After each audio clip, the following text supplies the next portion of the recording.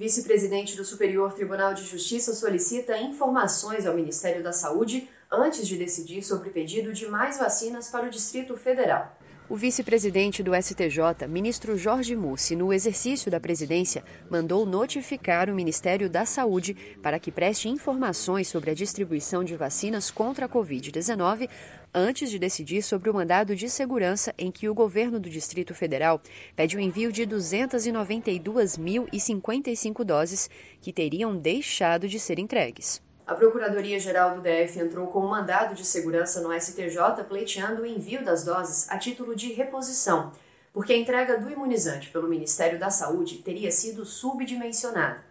Na petição é citado que o Distrito Federal é apenas a 17ª unidade da federação no ranking de vacinação, atrás de outras mais populosas, como São Paulo, Rio de Janeiro e Rio Grande do Sul, o que se deve, segundo o impetrante, a constantes equívocos na distribuição de vacinas. O DF aponta erros na projeção de doses em relação à real necessidade da população, porque não estaria sendo considerado, por exemplo, o contingente populacional que não reside na capital federal, mas utiliza os serviços de saúde em Brasília. O Ministério tem o prazo de 10 dias para prestar as informações e, após recebê-las, o ministro Jorge Mussi decidirá sobre o pedido de liminar no mandado de segurança.